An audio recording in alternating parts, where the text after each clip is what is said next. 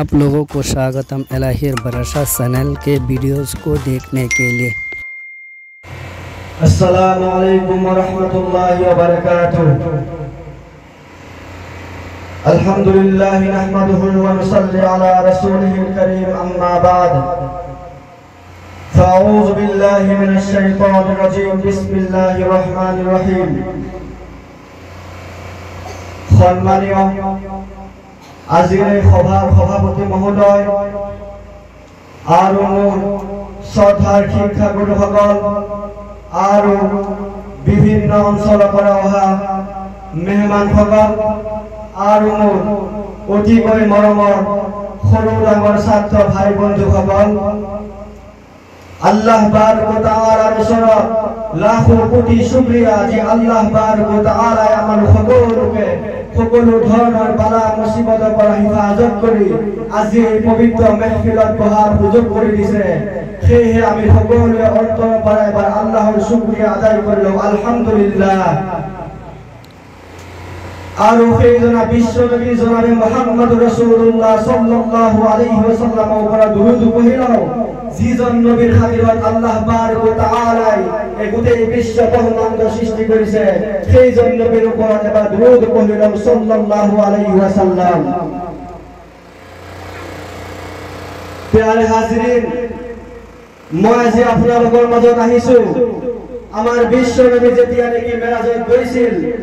তেওঁ মেৰাজত কেনেকৈ গৈছিল আৰু ক'ত গৈছিল তাৰ বিষয়ে চমুকৈ কিছু আলোচনা কৰিম।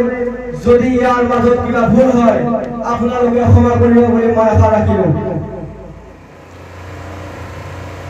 এদিনাখন বিশ্ব নবী জনাবে মোহাম্মদ ৰসুল্লাহ সাল্লাল্লাহু আলাইহি ওয়াসাল্লাম হাতিবে কাবাত শুই আছিলে। এনে সময়তে হযৰত জিব্ৰাইল আৰ হযৰত মিকৰাইল আলাইহিস সালাম আহিলে।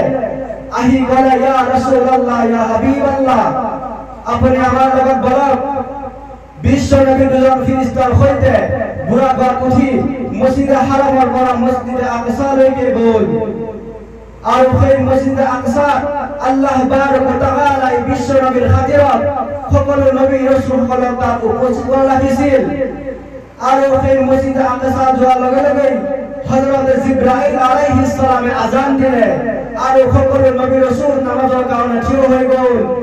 কিন্তু সকলোৰে মনত প্ৰশ্ন আহিল যে নামাজ কোনে পঢ়াব এনে সময়তে হযৰত জিব্ৰাইল আলাইহিস সালামে বিশ্ব নবীৰ হাত মুবাৰকত ধৰিলে ধৰি তেওঁক আগত কৰাই দিলে আৰু বিশ্ব নবী সাল্লাল্লাহু আলাইহি ওয়াসাল্লামে সকলো নবী ৰাসূল আৰু ফেৰেশতাসকলক লৈ সেই নামাজৰ ইমামতি কৰিলে সুবহানাল্লাহ। আৰু বিশ্ব নবীৰ যাত্ৰা এই যাত্ৰা মছজিদ হাৰামতে সমাপ্ত হ'ল। তাৰপিছত তেওঁলোকে আসমানৰ যাত্ৰা আৰম্ভ কৰিলে। তেওঁলোকে আসমানৰ যাত্ৰা কৰি কৰি কৰি কৰি তেওঁলোকে প্ৰথমে যেতিয়া নেকি প্ৰথম আসমানত গ'ল প্ৰথম আসমানত হযৰত আদম আলাইহিস সালামৰ লগত মুলাকাত হ'ল। যেতিয়া নেকি তেওঁলোকে দ্বিতীয় আসমানত গ'ল দ্বিতীয় আসমানত হযরত ঈসা আৰু হযৰত ইহয়া আলাইহিস সালামৰ লগত মুলাকাত হ'ল। যেতিয়া তেওঁলোকে তিন নম্বৰ আসমান পালেগৈ তিন নম্বৰ আসমানত হযৰত ইউসুফ আলাইহিস সালামৰ লগত মুলাকাত হ'ল। যেতিয়া নেকি তেওঁলোকে চাৰি নম্বৰ আসমানত গ'ল চাৰি নম্বৰ আসমানত হযৰত ইদ্ৰিস আলাইহিস সালামৰ লগত মুলাকাত হ'ল। যেতিয়া নেকি তেওঁলোকে পাঁচ নম্বৰ আসমান পালেগৈ পাঁচ নম্বৰ আসমান পোৱাৰ লগে লগে তেওঁলোকে হযৰত হাৰুন আলাইহিস সালামৰ লগত মুলাকাত হ'ল। যেতিয়া নেকি তেওঁলোকে ছয় নম্বৰ আসমান পালেগৈ ছয় নম্বৰ আসমান পোৱাৰ লগে লগে মুছা কালিমুল্লাহৰ সৈতে মুলাকাত হৈ গ'ল যেতিয়া নেকি তেওঁলোকে সাত নম্বৰ আসমান পালেগৈ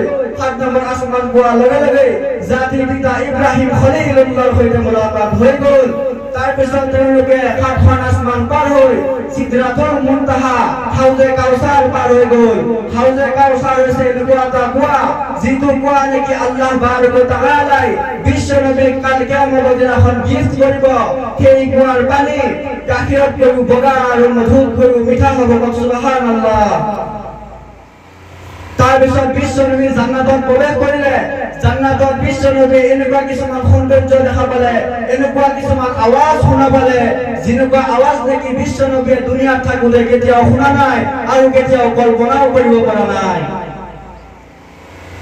তাৰপিছত বিশ্ব নবীৰ সন্মুখত যেতিয়া নেকি জাহান্নাম আনা হ'ল জাহান্নাম আনাৰ লগে লগে বিশ্ব নবী চকুৰ পানী ওলাই গ'ল। কাৰণ জাহান্নামত বিশ্ব নবীয়ে এনেকুৱা কিছুমান আজাব দেখা পালে তাত বিভিন্ন ধৰণৰ আজাব বিশ্ব নবী চকুত ভাহি উঠিল।